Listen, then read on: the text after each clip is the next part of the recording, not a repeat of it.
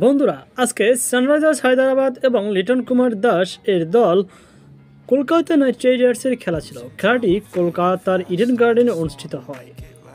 KKR টসে জয়লাভ করে এবং বোলিংয়ের সিদ্ধান্ত নেয়। শেষ খবর পাওয়া পর্যন্ত বারো ওভারে একশো ষোলো রান, দুই উইকেট হারিয়ে সানরাইজার্স হায়দ্রাবাদের সংগ্রহ। সর্বোচ্চ রান করেন ব্রোক, বত্রিশ বলে পঞ্চাশ এবং মাকরাম তেইশ বলে চল্লিশ রানের একটি জড়ো ইনিংস খেলেন। তো বন্ধুরা, এ ম্যাচেও আপনাদের সুযোগ পায়নি লিটন কুমার দাস।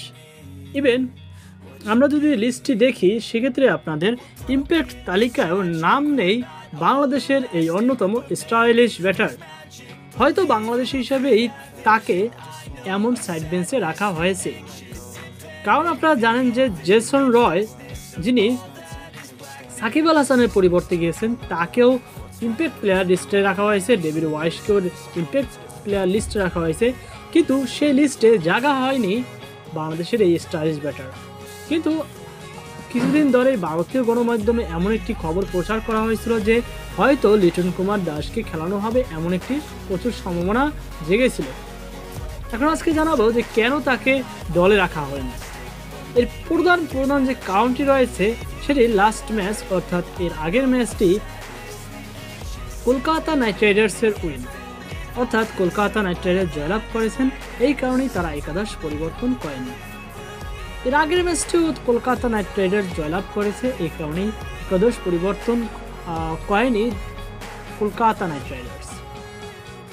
অর্থাৎ একাদশ পরিবর্তন করলে করলে হয়তো তাদের খেলার মুভমেন্টটা পরিবর্তন হয়ে যাবে। তাই তারা এই পদক্ষেপটি গ্রহণ করেছে বলেই আমার মনে হয়।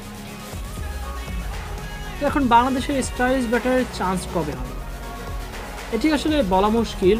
যদি আজকের ম্যাচটি হেরে যায়, সেক্ষেত্রে যদি গুরবার গুরবার বা রাসেল, অ্যান্ড্রো রাসেল যদি খারাপ পারফরমেন্স করে বা অন্য কেউ লকি ফার্গুসন যদি খারাপ বল করে, সেক্ষেত্রে তারা ভালো একজন ব্যাটসম্যান নিলেও নিতে পারে।